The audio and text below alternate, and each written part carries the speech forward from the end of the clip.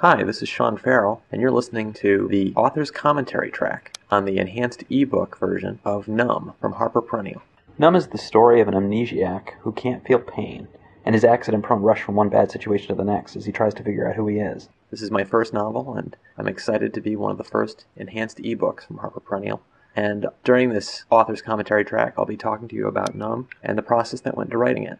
So here we are in chapter one. At this point, Numb is working in a circus, and he showed up unexpectedly, wandering out of the desert with no memory and no ability to feel pain. And he. And now you're flipping forward really quickly. Okay, you're skipping a lot of stuff, and you're stopping. Okay.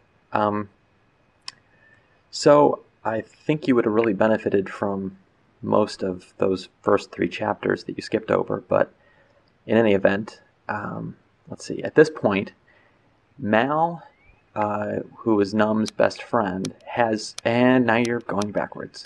Okay. I'm not sure what's going on. Um, can you stop, please? Please. All right? Good. Okay. Uh, it looks like I have no idea where you are in the book. Okay, somewhere in chapter two. Okay. Um. So, oh come on! All right, you that this is enough. This is seriously enough. I can you flip to the author's photo so I can see what you look like?